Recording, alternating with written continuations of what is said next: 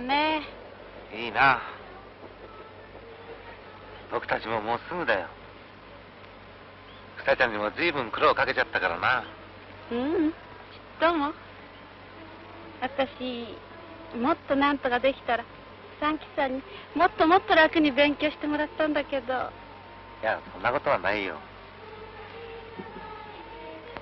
学校出たら今度は僕が働いてふたちゃんに楽をさせるからね。あんな毛糸屋の店員なんか早速辞めちゃうんだね。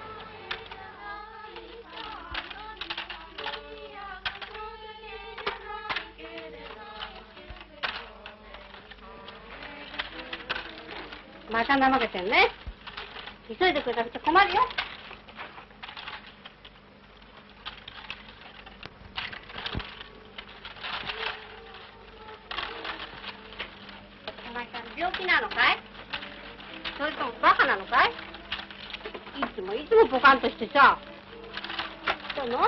を考えてんのさ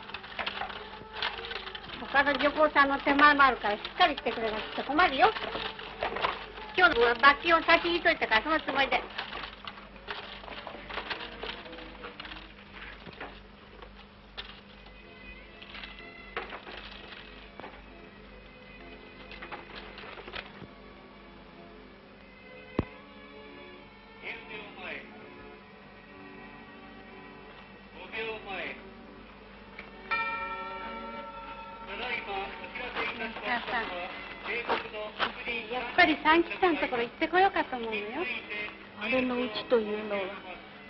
も船に乗って丸2日もかかるところじゃないか。そんな遠いところまであれのことはもう諦めとき。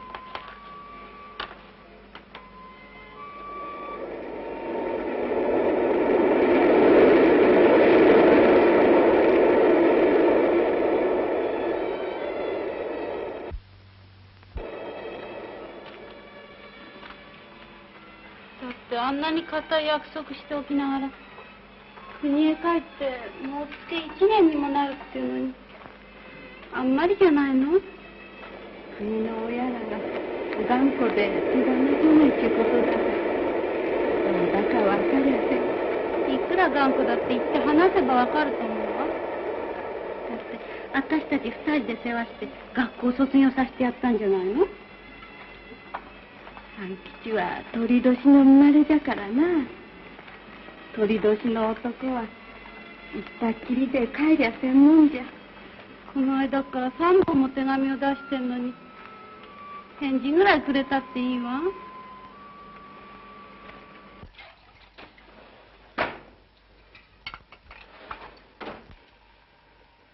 小林さん。小林さん。あ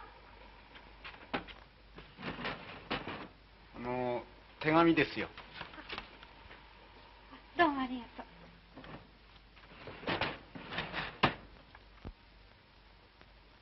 父さんからだわ。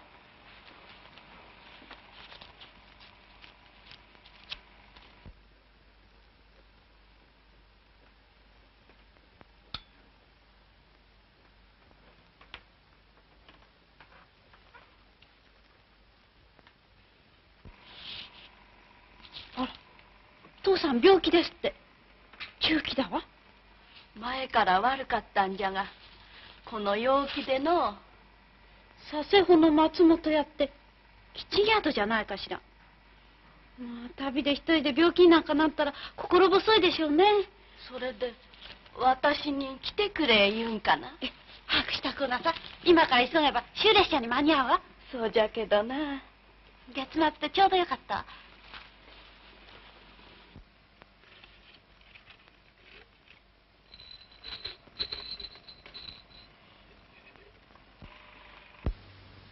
でも部屋代や米屋の支払いは。後のことなんか心配しないでゆっくり看病してらっしゃい。こんな時しょぼしょぼしたらバカよ。すぐまた後で儲けて送ってあげるわお前という子は表げた子じゃのいいのよ三吉さんのことなんか。こんな時は病人の方が先ですもんね。病人でもお前の本当のお父さんじゃないのに。私たちを捨てていった父さんなんかどうだっていいじゃありませんか。私たちを拾ってくれた父さんの方がずっとありがたいわ。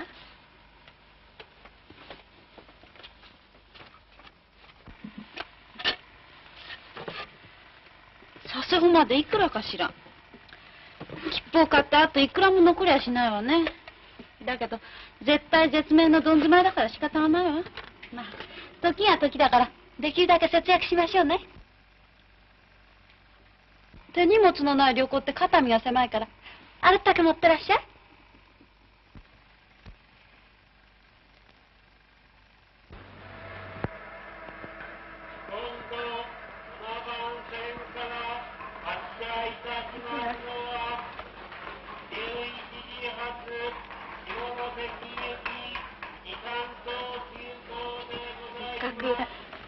じうちに住めたと思うたらまた別れ別れになるの。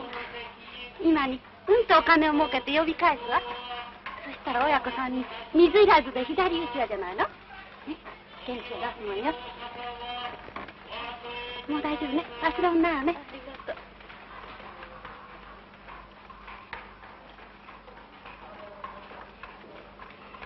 う二度と会えるじゃろうか。私は心細うてならんがの。うん。会えるわよ。会えないってことなんかないじゃないの。こ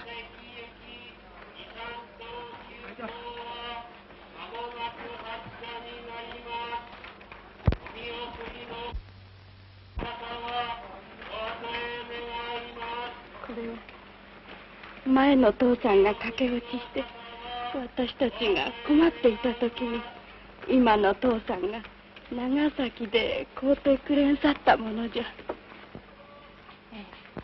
覚えてる？わ10年も前のことだわね。一たびにつければ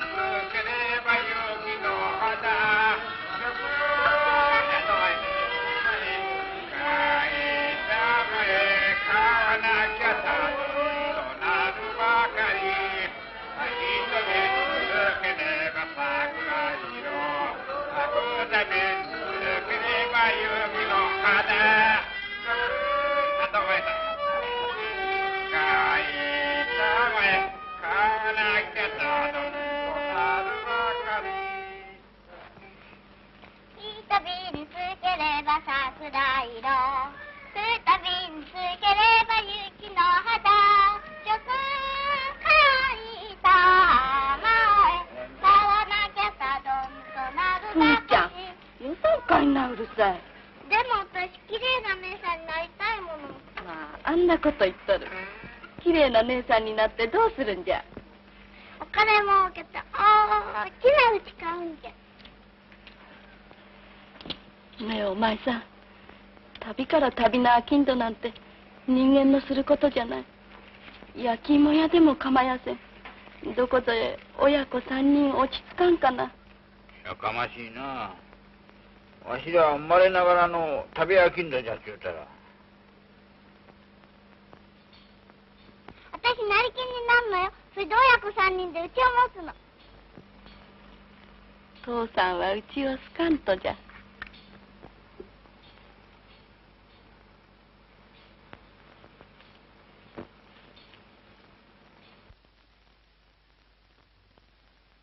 小林さんお母さんがお行きになってからどうかなすったんじゃありませんか？購買も行かずに。働く気がしないんですでも明日から出かけます。タバコでも上がりませんか？タバコどころかお米がないんです。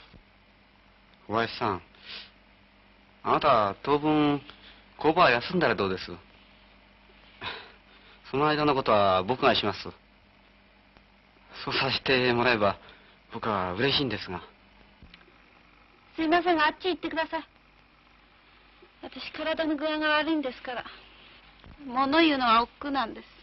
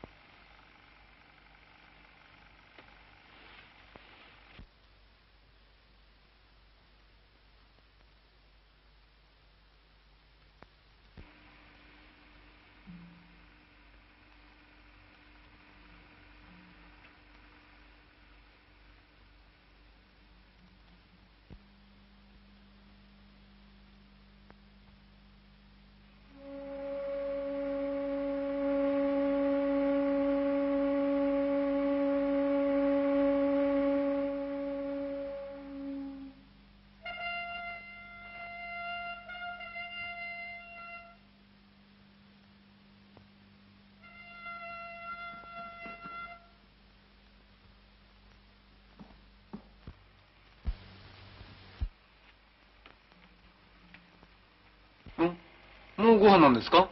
もう少し待ってらっしゃい。あの肉買ってきたんですから。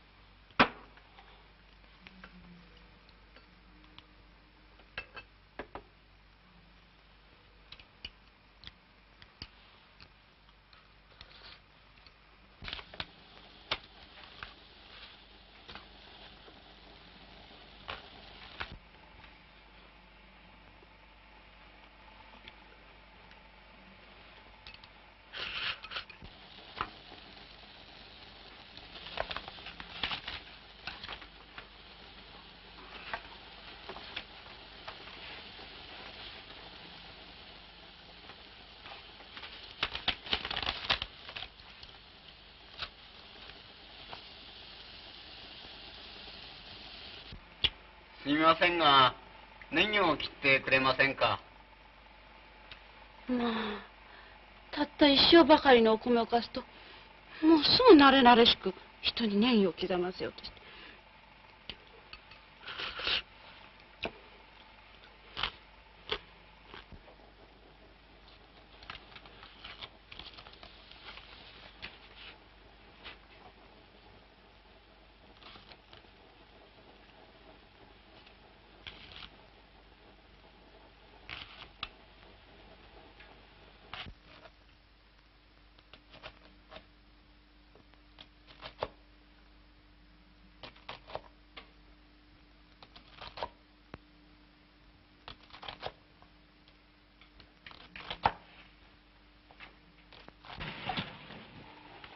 切りましょう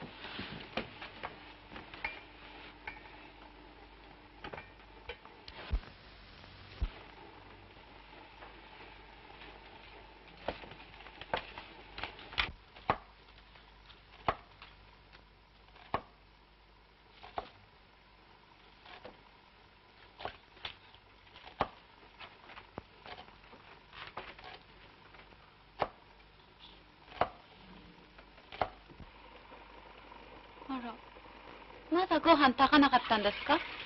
ええ。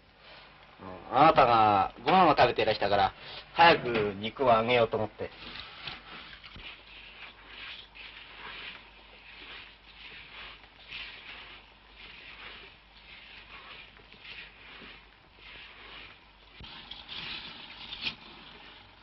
僕今60円もらってんですがそれだけあれば二人で結構暮らせると思うんですが。松田さん。あなたのご親切身に染みて感謝してます。あなたと結婚してもいいと思うこともあります。だけど私には待っていなければならない人があるんです。それに私にはまだその人のことが忘れられないんです。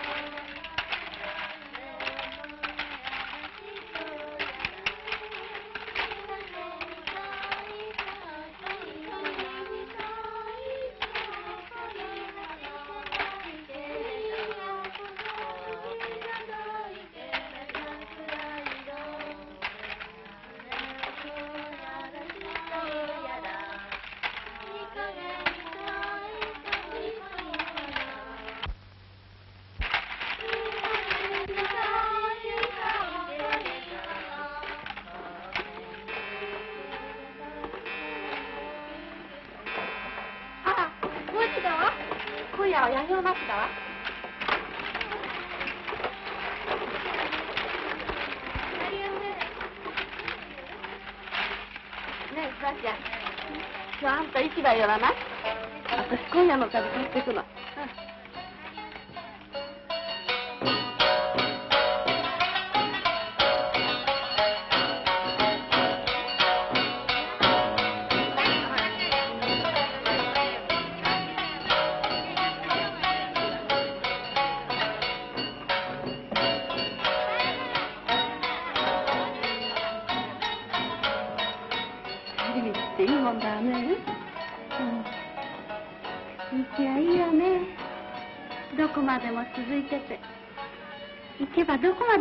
れそうな気がするんですもの。きっと道の向こうには楽しいところがあるわよ。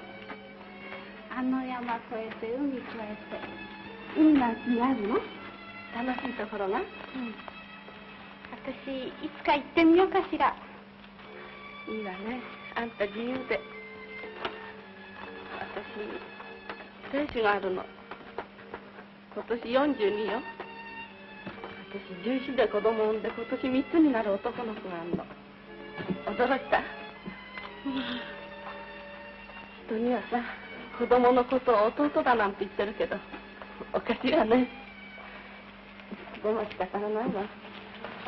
私みんなそうだったんだもん。おきみさんも若い自分から苦労しどしなのね。私の家はね袋小路のどん詰まりにあるの。そっから先はどこへも行けやしないの。私の運勢もきっとそんなようなもんだ。わいつ開けることやら。一生袋小路の中でもがいてるのかもわかんないわ。あらそんなことなんかありゃしないわよ。それにこの頃うちの人女ができたらしいの。私恋なんてまだしたことがないわおきみさん。あんた恋なんかしな知らない方が幸せかもしれなくてよ。恋なんか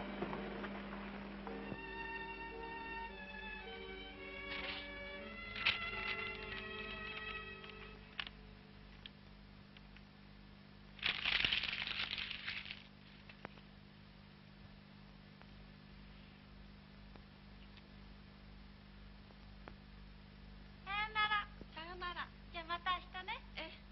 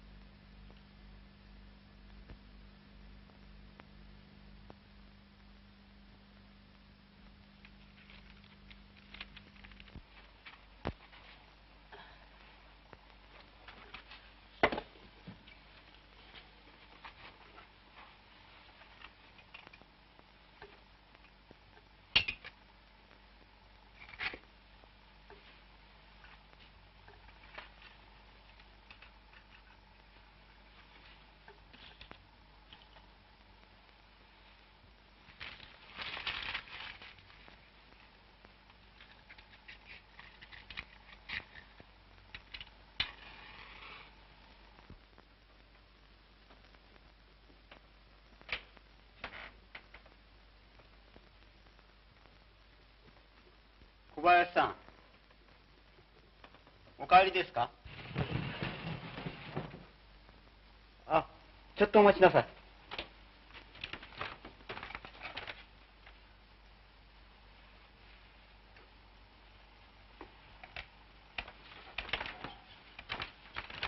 帰りが寒くなりましたね。すいません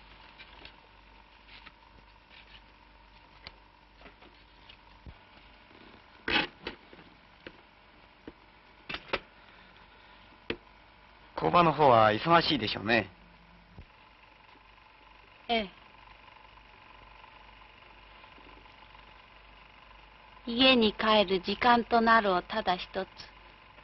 待つことにして今日も働けりって卓木の歌。私家帰って一人になることがたった一つの楽しみなんです。あなたに労働なんか向きませんよ購買なんか行くと気も心もすさんでしまいますから。じゃあ綺麗なおべべを着た上級さんにでもなれっていうの？私そこまで落ちていこうとは思っていません。そそういうつもりで言ったんじゃないんですけど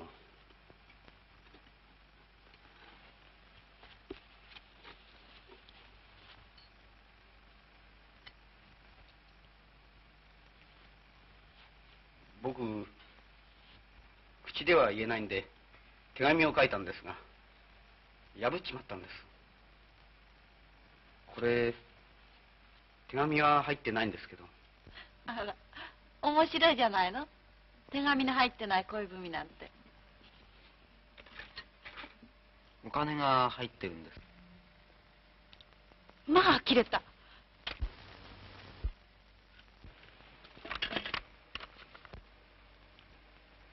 何にも言わずに借りてください。僕はあげてもいいんですけどあなたがこだわると困るから。私あなたから借りたお金なんか使えませんしまたそれほど困ってもいません。日給75銭もらってます。でもお金なんていくらあったって邪魔になるもんじゃありませんし。いいえ邪魔です。使うことのできないお金なんか。僕も一旦出した以上は松田さん。断っておきますがね。どんなにご親切にしていただいたってご恩はご恩。私あなたを愛する気にはなれませんのよ。愛してなんか。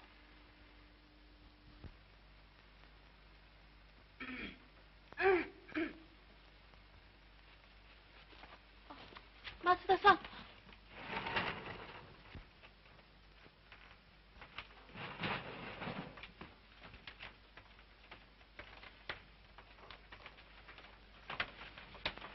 田さん。松田さんがせっかく貸してあげるっていうのに変な義理立てして断ることはないじゃないの？借りてきなさいよ。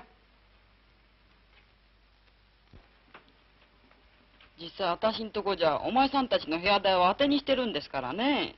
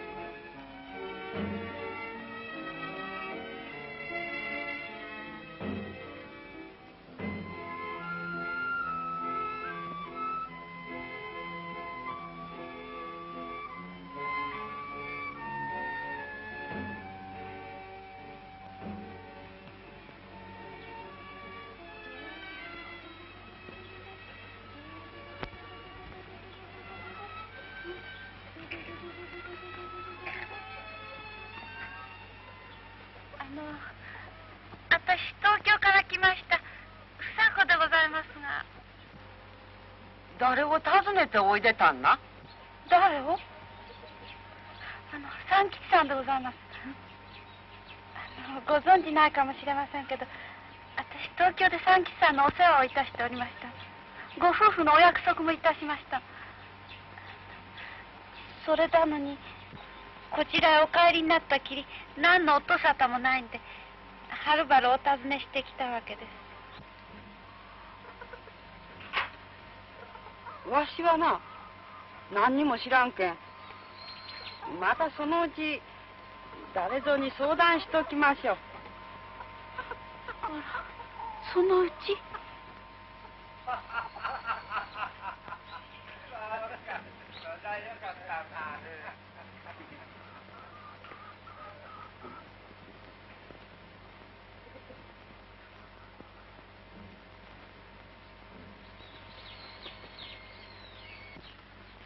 わしの家は百姓じゃけん先祖代々伝次持ちで来ておるけれ。一見家を構えておらん者の娘なんぞもらえんと皆が言うとるけど。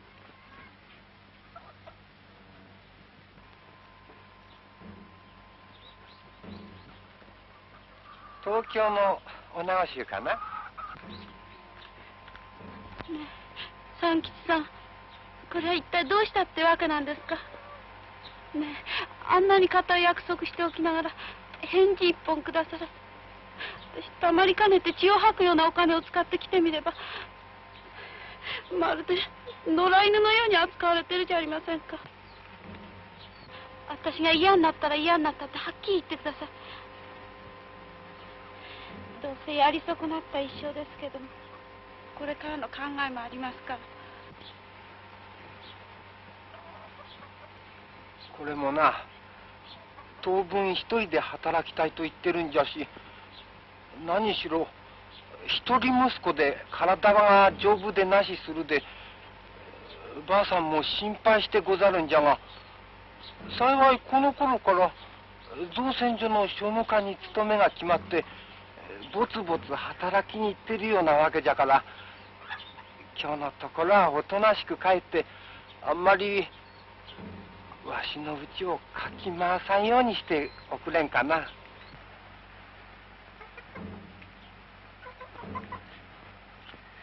お騒がせしてどうもすいませんもう二度とこんな遠いところへ来られやしませんからご安心ください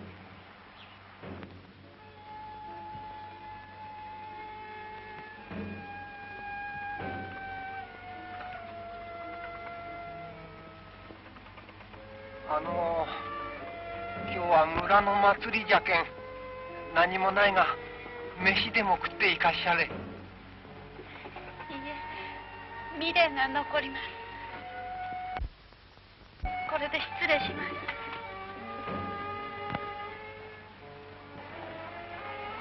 パン吉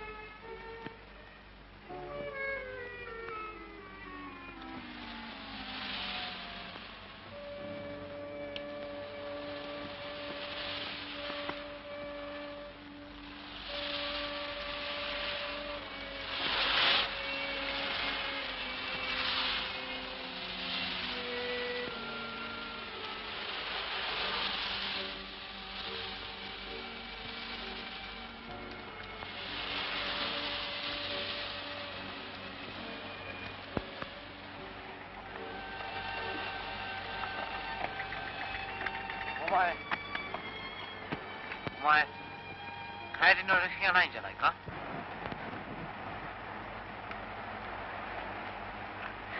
あんた私にお金をくれよって言うの？いくら嫌われても私あんたが好きなの。今お金をもらったらいつかあなたを恨めしく思う時が来ます。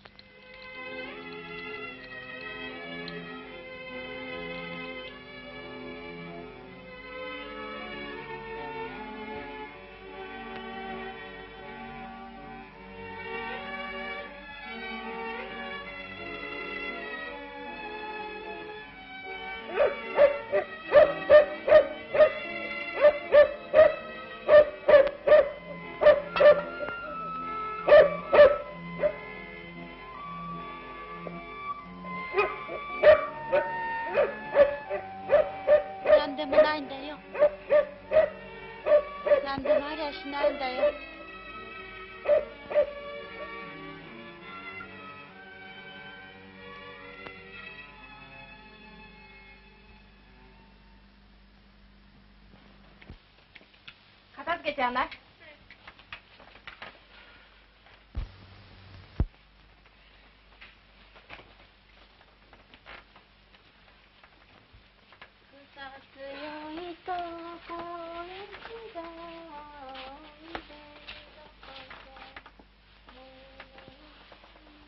お前さん今のうち荷物持ってこない？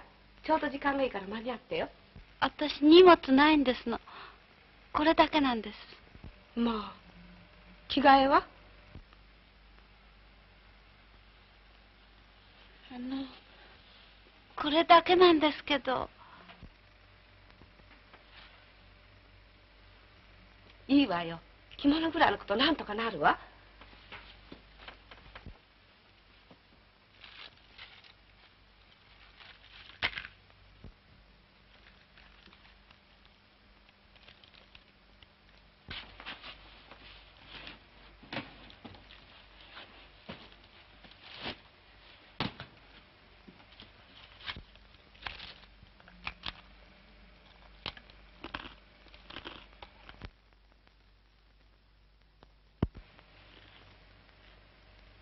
これどうかしら着てみない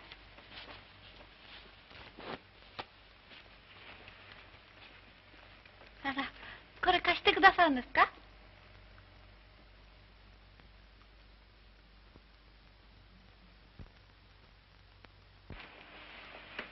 上前に大きな穴が開いてるから左前に来てごらんなさい。左前だってそんなに目立たないしかえって子供らしく見えていいかもしれないわね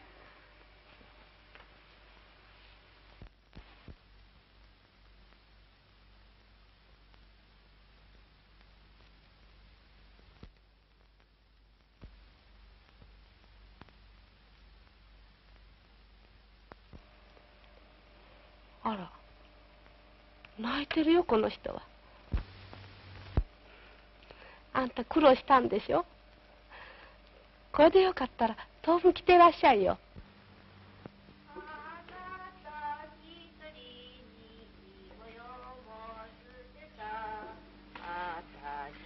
この人まさん俺んとこ遊びに来ないか？田舎はいいよ。ええ行くとも。いつでも泊めてくれる？ああ私はもう愛ちゃんの恋だのあなたに惚れました。一生捨てないなんて馬鹿らしいことは間違いねえ。あんたも19で処女で大学生が好きだっていうことにしない？とてもお客さんにモテてよ。あら。私の子供は可愛いからさ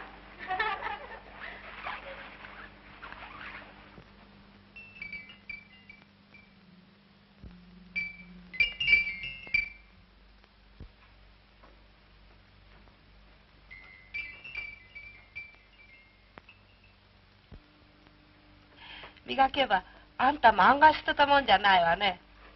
どう？お嫁見ても行きたくなった？行きたくなったら行くさ。男ってそう悪い人間ばかり見ないからね。あのねこの人にとてもご主人な人があるのよ。そう。だけど慌てちゃいけないよ。と言って幸せを逃がしてもいけないけど。私みたいにね 左前さん青山さんがお呼びよはいただいまさあ早く早く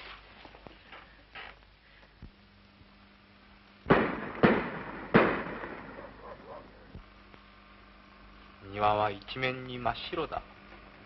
お前、忘れやしないだろうね、龍馬。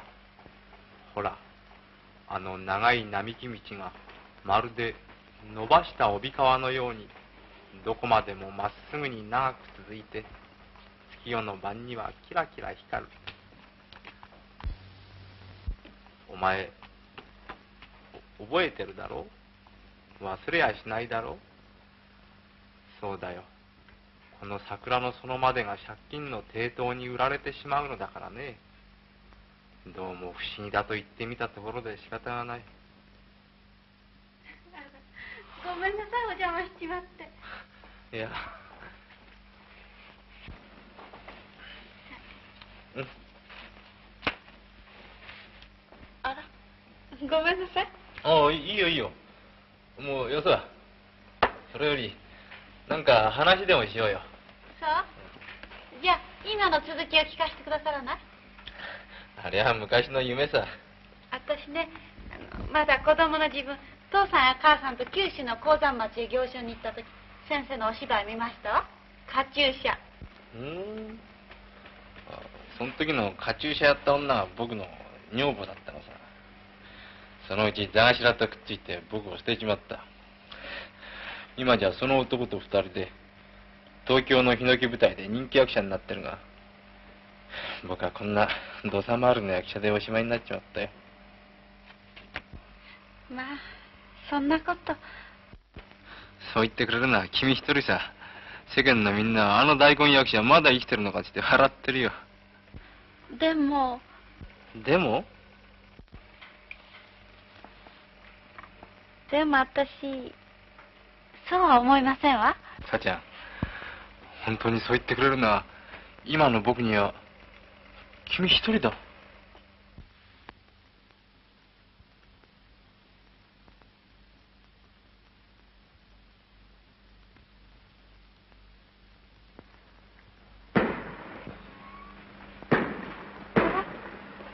花火ですわ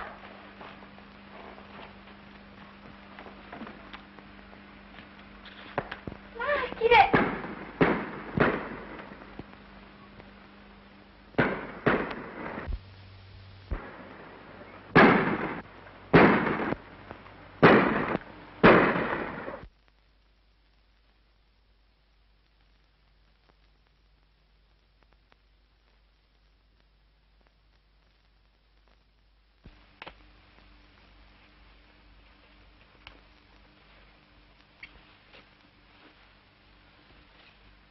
まあ立派だね。肩上げを取ったら断然100%の世話女房だよ。左前さんもとうとう奥さんなるのかね。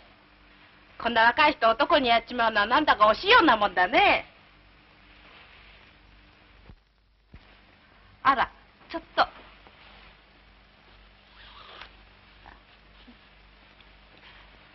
時々遊びに来てちょうだいね。あの人と一緒に寄せていただきますわ。あの人だって貧乏なんだから、しばらくしたらまたここへ友担ぎに来るさ。あんたも苦労したんだから、今度はしっかりおやりよ。本当にね。では皆さん、どうもいろいろありがとうございました。皆さんのご恩一生忘れませんわ。まあ、改まって。でも本当にご機嫌よくね。あんたのお嫁入り道具、それだけ？ずいぶん思い切ったお嫁入りね。話の種になっていいわ。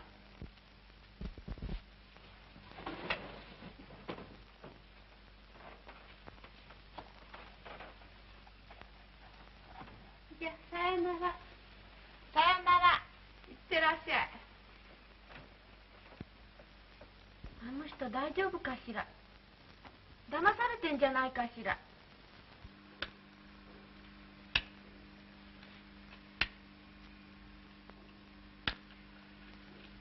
こんばんは。あら。おう左前さんか。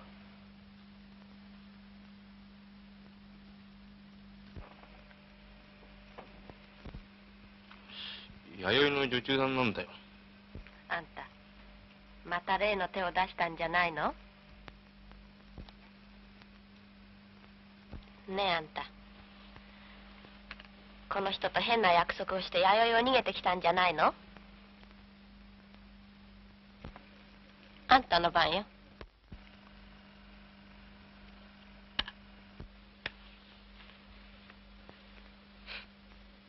今成平かドンファンか知らないけどいろんなを鉢合わせさせるなんてあんたも随分猛録したわね。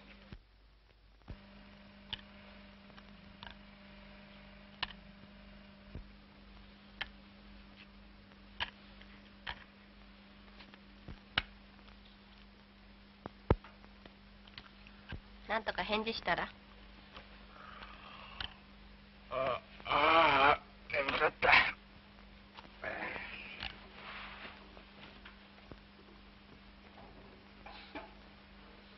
2枚目の芝居にしちゃ下手な引っ込みね。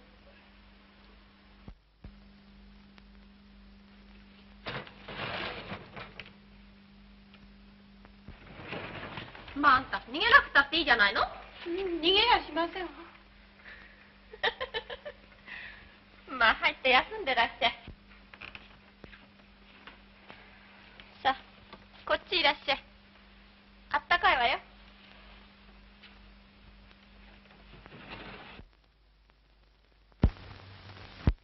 さあ男ってあんなもの。分かった。気に障ったらごめんなさい。私あんたに恥かかせるつもりでそう言ってんじゃないんだから。私も騙されちゃったのさ。このすれっからしさえね。私にどういうご用がおありなんですか？まあ喧嘩？こんな夜遅くなって娘一人外へおっぽり出せると思う？確か共同便所へ空き家に寝たってのあんたじゃなかったかしら。タバコ飲まない？私夏みかん持ってます。これ上がりません？ね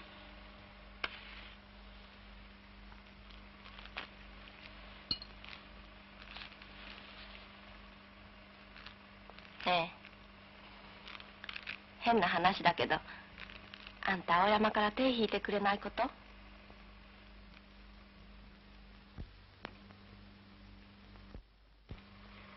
あんなぐうたらな男だけど私も年を取って今さら行くところもない身の上だしね。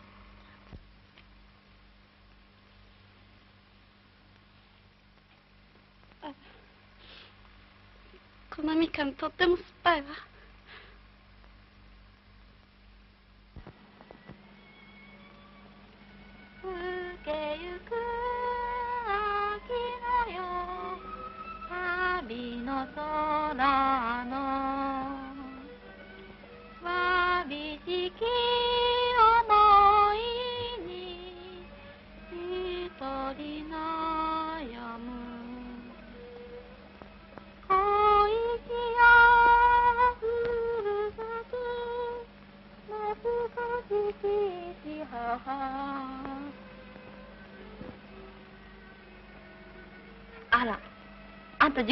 手紙出すの？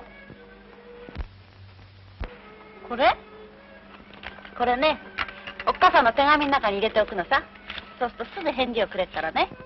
まあいい考えね。あんたもやってごらん。だけどカフェの女給なんかになったって書いてあるとうちの人が心配するかもしれないから。まあ食堂かなんかに勤めてるって書いた方がいいよ。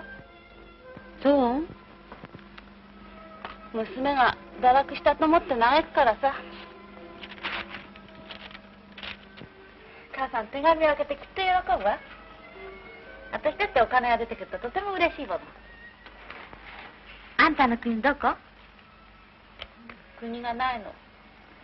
旅屋金土の娘だからキチン宿で生まれてカフェの2階でくたばってしまうのさ。それで今でもお父さんやお母さん旅屋金土日本のずっと西の端を歩いてるわ。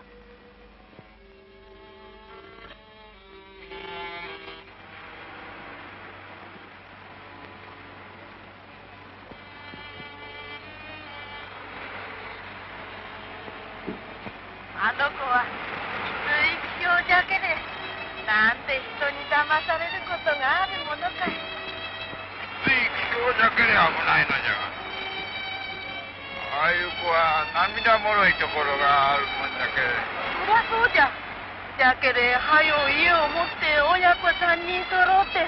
わかめかんか。ふーちゃんの好きなわかめじゃが。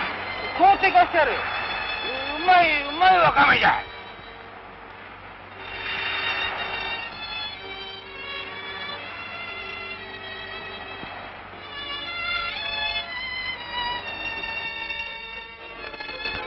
いつも母さんのこと思い出す早く身を固めて母さんたちを引き取ってと思うんだけど。母ちゃんはどこ行ったんだい？母ちゃんいるの？神様呼んでるわよ。歯が痛くて寝てるって言ってよ。だからね私嫌いな男とだって構えやしない。確かな一つなら結婚してやろうと思うんだけど。ダメね。私がフラフラだから。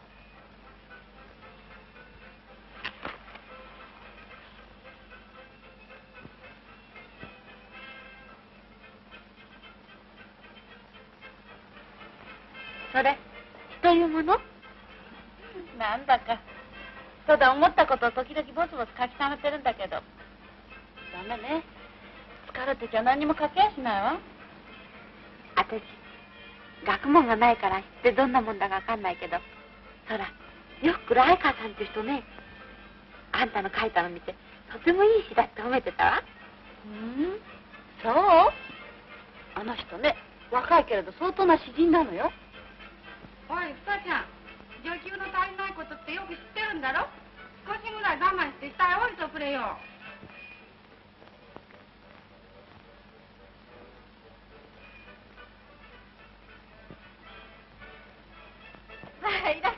っしゃいしばらくだったわね。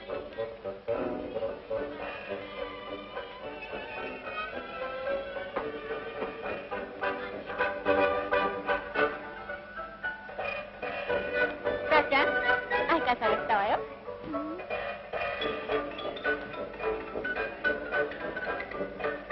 お前は気が多くっていけないよ。気の多いのはハンさんの方よ。どこだか行くより。今夜はお前が好きになったからいや、昔の話はいけないよ。そうどうだい一杯飲まないか。おそれじゃあと、ウイスキーも10杯飲んでみないか。なんでもないわよし、キングオフキング10杯。10円のかけだ。冗談はおよしなさいよ10円ありゃ横丁で一晩楽しめるじゃないの冗談じゃないよ。本当なんだよ。お、お、おいら。バカねオーブキン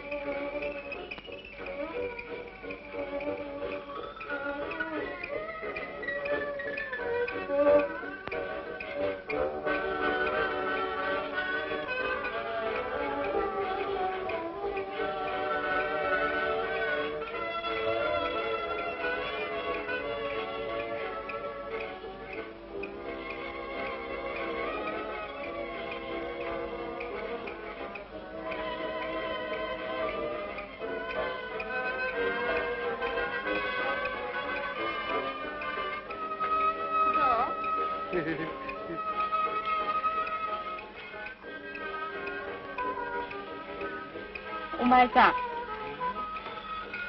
一杯一円のウイスキーをあの子が10杯も飲んでくれたんだよ。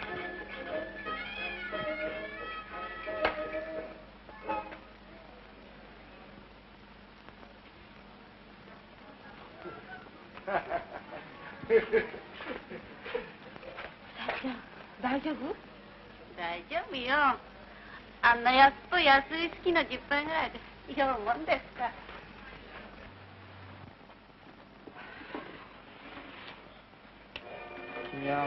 はあんまりやけにならない方がいいと思うね。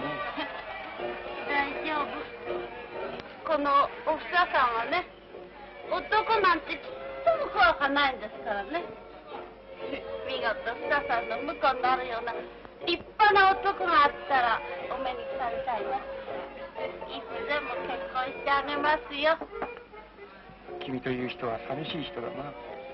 自分が寂しいから、その寂しさから逃れよう逃れようともがきながら、結局一人ぼっちで寂しい道を行くんだな。えらい。さすが相川君。私あんたの言う通りの女さ。あんた今に出世するわよ。君はちょっとしたものにも心惹かれて、すぐ涙ぐむだろ。その涙が君の行動を決定してしまうんだ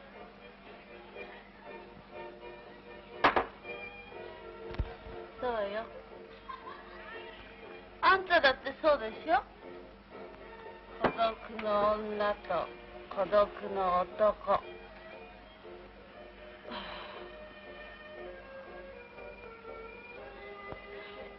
だダメよ沈み込んでちゃ。あんたがなくて私だって悲しくなるじゃないの。あいいわ。さ私が今ね踊りを見せてあるからね。陽気に騒ぎましょう。ね。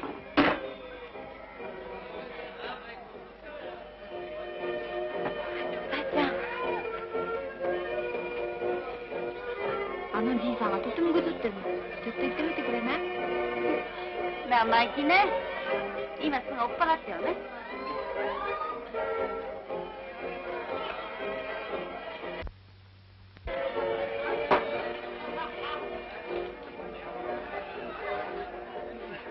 人の振る舞いだけで淀行って三番を踊るやつがあるか。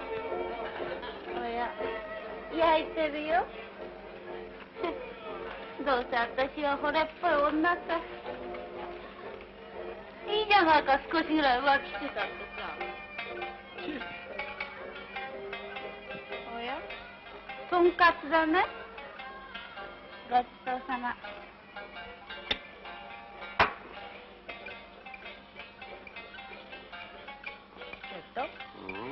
のおかみはね女給が三度三度裏で飯を食うと嫌な顔すんのよ、お客に料理を取らせて食えって。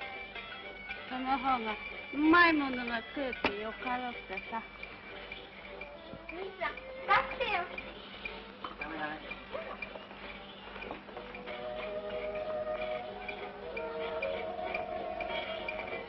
おじさん出してよ。ああいらないいらないあ俺はもう帰るよ。お会計だ。オーブキングの社長さんお会計。ちょっとやめときなさい。もったいないわよ。はいはい。上げたり下げたりすんなよ。あげやしないわよ。下げただけさ。なお悪いや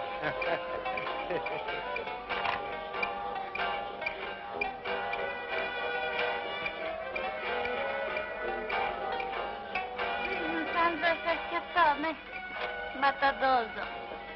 ああそれだごきげんよ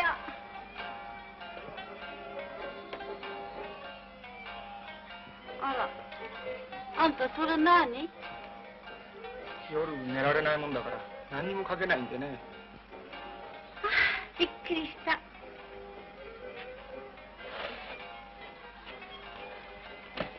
ねえおふたさん。僕は今夜寂しくてしようがないんだ子守歌でも歌ってくれない？歌ってあげるよ。だけど恥ずかしいよね。ここじゃないんだよ。どっか静かなホテルへでも行ってさ。ホテル？僕は一人ぼっちの夜が怖くてしようがないんだ。誰かそばにいてくれないと自殺しそうになるんだよ。ちょっと落としちゃ何？私酔っ払ってる？酔ってるわ。そう。私なんだかわけが分かんなくなっちゃった。やっぱり酔っ払ってんのね。あちょいとこの人一緒に連れてっちゃいけない？僕は君は詩を書く人だから僕の気持ちぐらい分かってもらえると思ったんだよ。そう？じゃあこの人連れてっちゃダメなのね。どこ行こってんの？ホテルだってさまあホテル？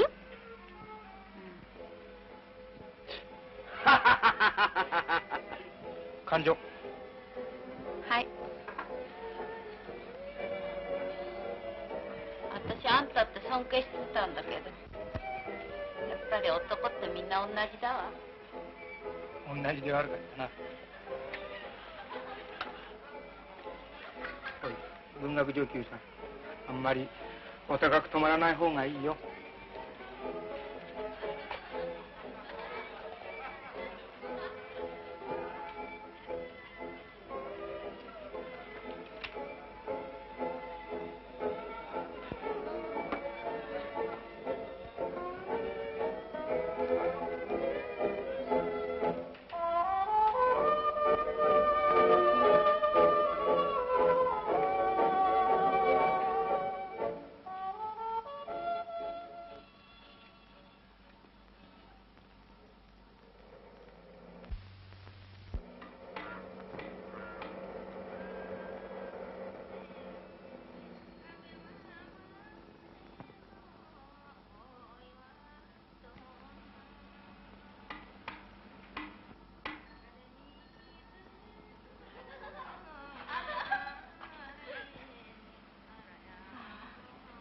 私働くの嫌になっちゃった。だからさ私考えてたのよ。二人でどっか家を持たない？そしてあんた文学書きなさいよ。それで偉くなってよ。食えなくてしも文学もありゃしないわ。私が食べさせるわよ。あんなカフェなんかやめちゃって銀座行くわ。銀座の方がずっと身入りがいいんだってから。私も働くわ。ダメよ。二人とも女給稼ぎして年を取って結局二人とも家路にしちゃうだけじゃないの？私は頭がないから女給するの。あんたは詩が書けるんだから勉強して素敵な傑作書いてよ。それでいいじゃないの。その代わりあんたが偉くなったら一生食べさせてもらうわよ。どう？いい考えじゃない？ね？そうしましょうよ。私あんたを偉くするのかと思うとドクドクしてんのよ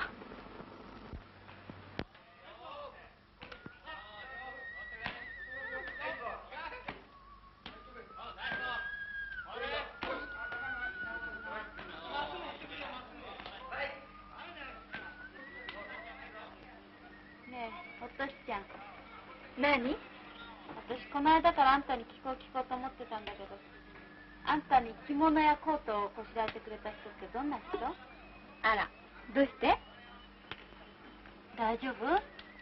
まあ姉さん私が夜時々遅くなったりするもんだから疑ってんのね。だって私なんだかただごとじゃないような気がするんですもの。大丈夫よ。心配しないで。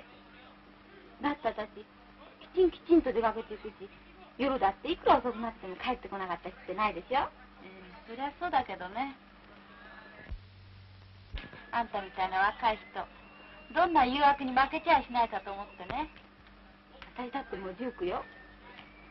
どうせカフェなんかに来る男みんなバカだわ。誘惑なんぞされるもんですか。と思っててもね。まあどうかと思うわ。姉さんじゃあるまいし。まあご挨拶ね。私トシちゃんに養ってもらってるんでしょだからあんたにもしものことがあったら私に立つ瀬がないわ。あら養ってなんか。姉さんが出世をしてくれればそれでいいの。それを楽しみに一生懸命稼いでんのよ、ね、あんまり荒稼ぎして怪我しないでね。そんなに心配だったら一日私の後をつけてきてよ。私あんたを信用しないってわけじゃないのよ。ご覧なさい。あの女性さんたちの元気のいいこと皆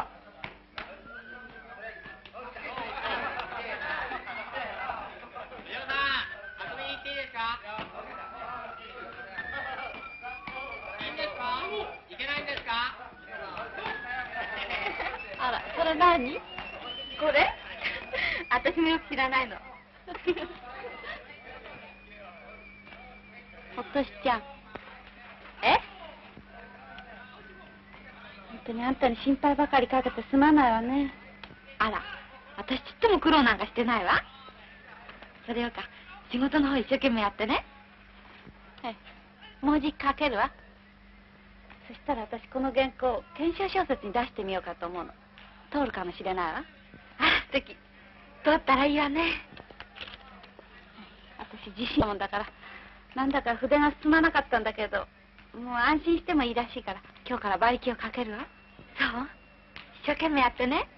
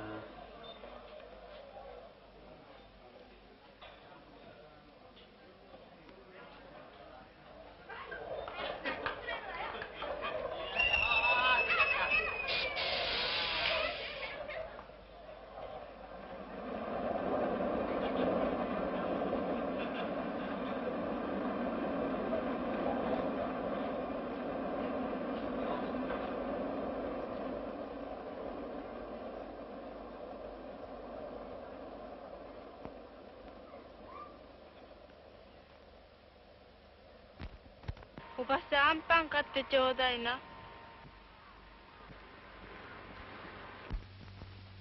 おばさん何にも食べたくないの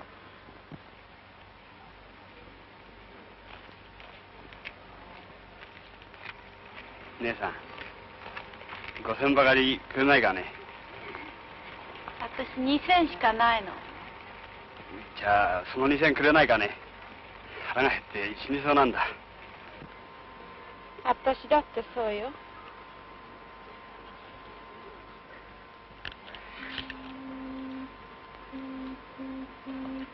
これで死なずに済むの？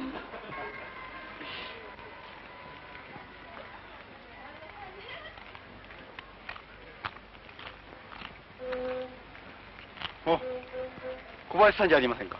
あら。しばらくでした。その後どうしておいででした？相変わらずです。わおおっかさんはお達者ですか？ええ。早くこちらへ呼び寄せたいと思ってるんですけどいまだに力がなく。随分探しましたよ。あなたにお会いしたくて。いつまでもお金お返ししないで。本当にすいません。いえ。そんなこと僕あなたが僕の部屋に置いてったあの悲しい手紙いまだに持ってるんです。あらあんなもの破っちゃってください。僕一生持ってようかと思ってるんです。松田さん本当に私のことなんか思い切ってください私も誰とも結婚する気はありませんの。女だって男の方を頼らずに生きていけると思ってますから。そうですか。ご親切にしていただいたご恩は私決して忘れませんわ。どうぞ気を悪くなさらないでくださいね。そして私よりももっともっと立派な奥さんをお迎えになってあそれではこれでお目にかかりませんその方があなたのおためですしでは体を大事にあなたもどう。ぞ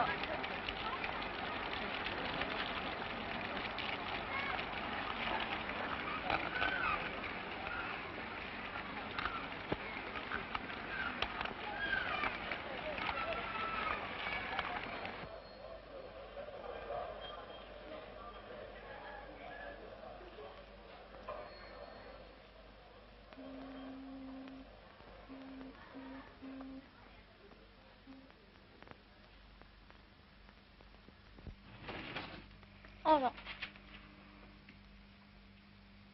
留守に上がり込んでるよ。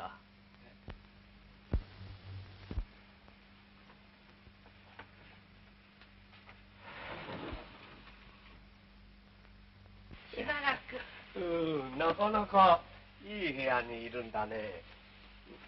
動きを見てねびっくりするやら恋しいやらで飛んできたよ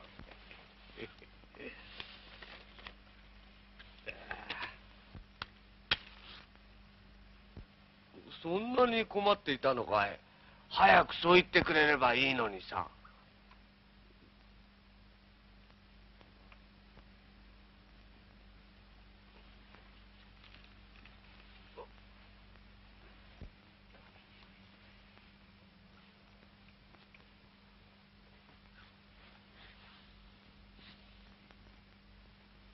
俺はお前の鉄火なところに惚れちゃったんだよ。ねえこっちをお向きよ。はがき一枚でお前早速やってきたんじゃないか。私そんなつもりじゃなかったんです。妹が苦労してるのがかわいそうだからお金だけ貸してほしかったんです。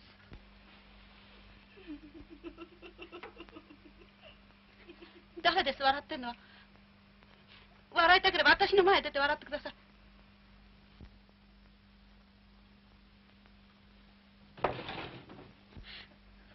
الطبقة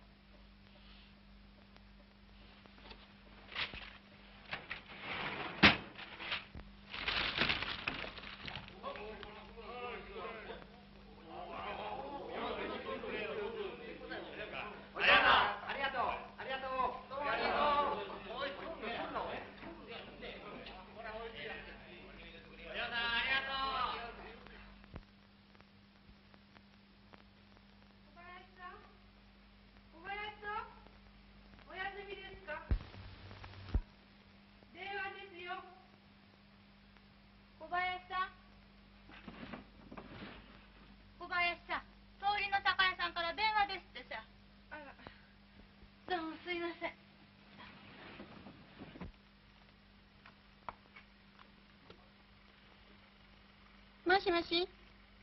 はい。房子です。まだ起きて勉強してたの？しっかりやってね。うん。あのねお呼び立てしてすいません。今夜帰れないかもしれないの。それでちょっと電話したの。うん大丈夫なの。今？その人と一緒。私。恋しちゃったの。あんたに言わなかったけど。ええ真面目なの。それであんたのことも話しといたわ。そしたら毎月4 40円ぐらいなら助けてくれてもいいって言ってます。決して悪い人じゃないわ。ええ。そんならいいんだけど。でも用心してね。うん。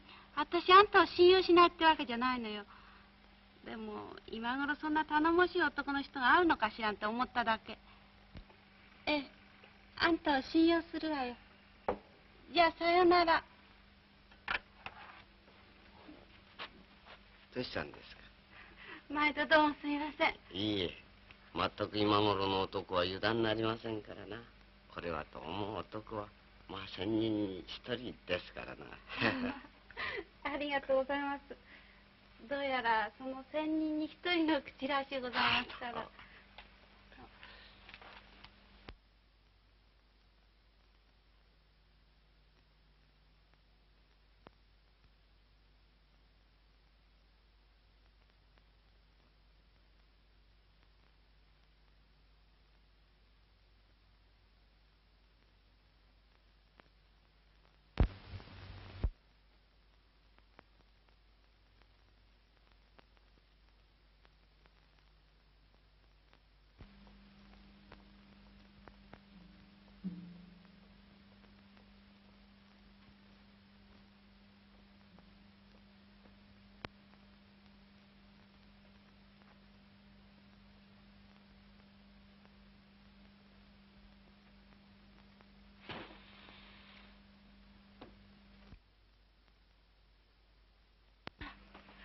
おとしちゃんどうした心配かけちゃって。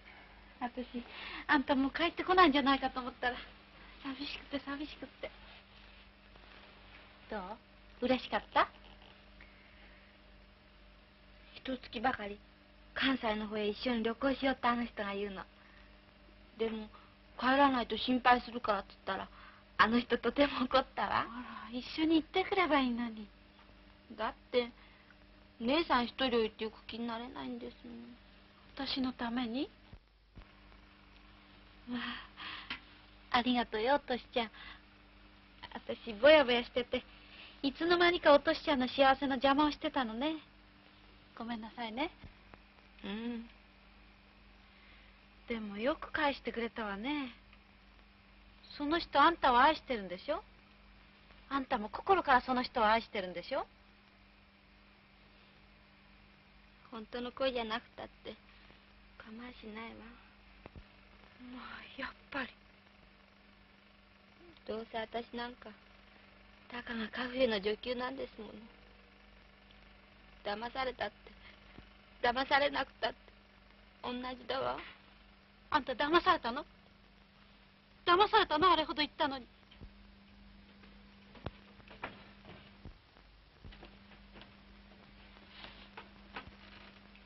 おい警察の番だ。ちょっと来てくれ。あら私何にも。その風呂敷包みはどこから持ってきたんだ？男の方はもう捕まったぞ。あら違います。違います。これあの人にもらったんです。私何も悪いことしやしません。まあいい。とにかく署へ来て話をしようあら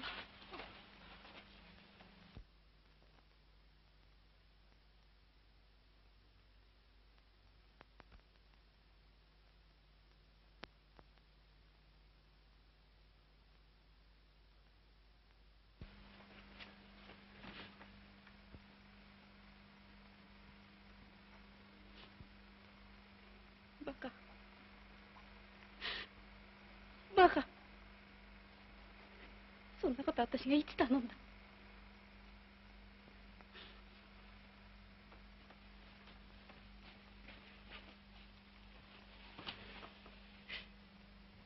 こんなものこんなものそんなことまでしてそんなものそんなに尊いのかバカ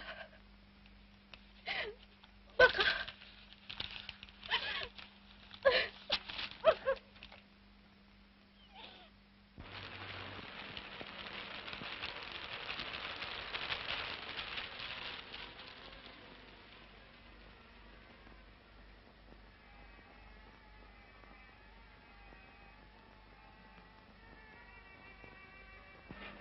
母ちゃんいる？あらまあどうしたの？虫干し？この雨に。いいえ。どうせ私なんかウジ虫みたいな女だから。腐った自分の匂いを嗅いでみたらと思って。ありったけのものを並べてみたの。相変わらずあんたは変わってるわね実は私初めて恋をしたの。それで決心して家出してきたのよ。今夜都落ちしようと思ってあんたにだけちょっと会いに来たの。坊やも一緒に連れてくの？あの子のことを考えるとそら恐ろしいような気がするけれど。でももう仕方がないわ。妾のために牛かんまのように扱われてきたんですのあの子だってきっと許してくれると思うわ。その辺まで送るわ。あんたお酒飲まない？私を一人ぼっちにしてみんな行っちまうのね。おっかさんから頼りあった？おっかさんに会いたいわ。私今日は酔っ払いたいのよ。実はあの外で待ってるのよ。そう？じゃあこの窓から送るわ。幸せでいてね。ありがとう。あなたもねじゃさよなら。さよなら。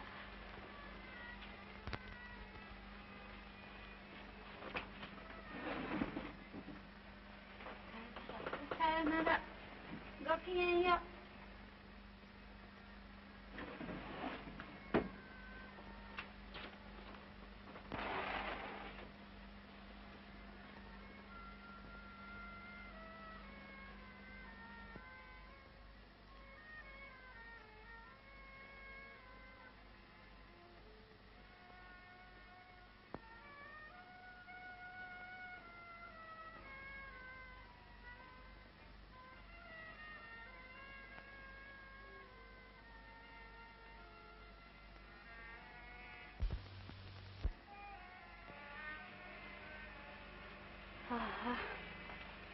あの人もとうとう袋小路を突き破って出て行っちゃっ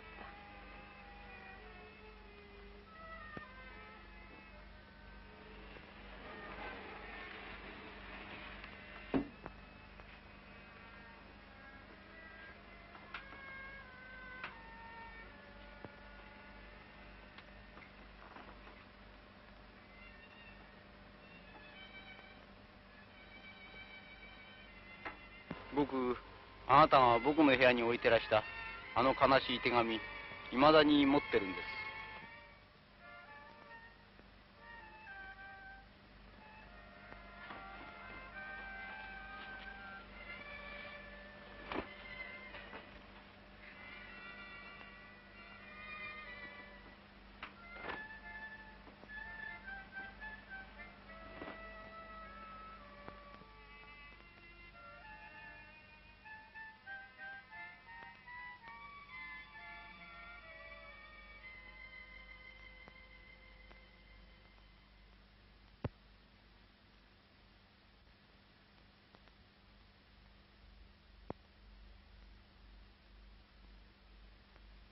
どう似合わないかしら？いいえ。あなたにお見せしたいと思って。そりゃあどうも。頭を変えるととっても気持ちがいいもんね。あなたも少し短くなすったらどう？はあそうは思ってんですけどもこのままの方が丈が高く見えていいって家内が言うもんですから奥さんが？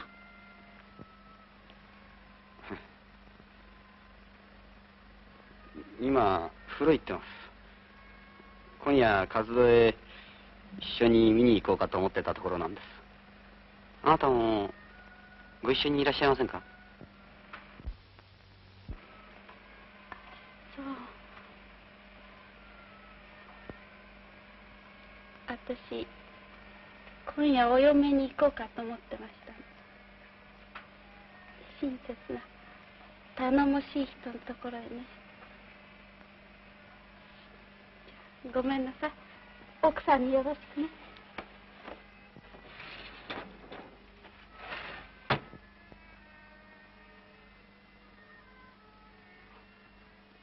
小林さんちょっと待って。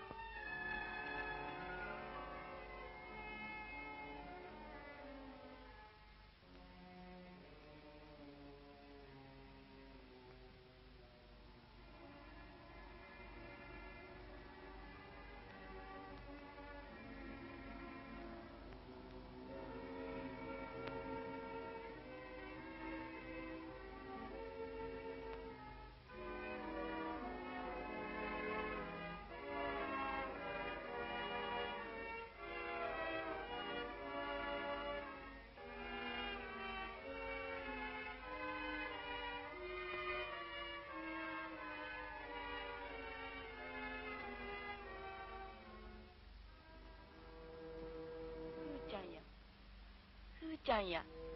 ふーちゃんや。予算会な。ひょうげた子じゃの。うふーちゃん。ふーちゃん。さちゃん。姉さん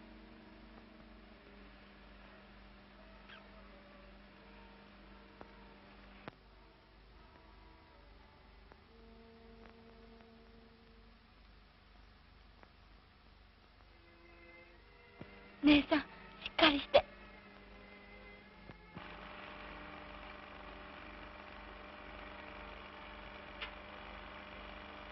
あら私どうしたのやっと気がついたのね。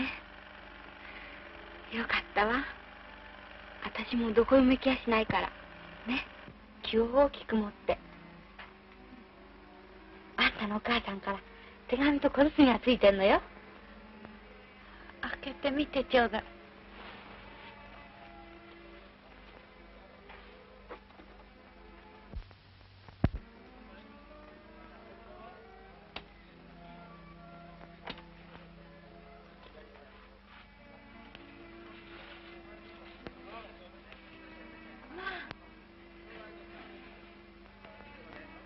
が入ってんの？わかめにかまぼこの天ぷら。それから為替が5円